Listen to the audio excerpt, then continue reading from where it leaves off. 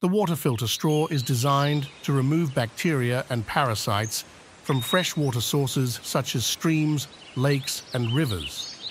It is not recommended to use the water filter straw to filter salt water or other types of contaminated water, as it may not be effective in removing all types of contaminants. Because this unit is so small and lightweight, it's great for travel overseas in countries with unreliable drinking water. If you've ever been sick while traveling, you know the importance of drinking filtered water. Prevent any mishaps by drinking your water through this straw. Access to clean water is critical while hiking. The filter accomplishes the same thing as other filters, but does it at just a tenth of the weight. If you're ultralight hiking, this is a must.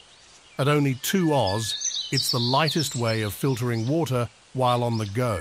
If you consume the recommended 3.4 litres of water per day while hiking, it will last you for between 1,000 and 1,333 days of hiking.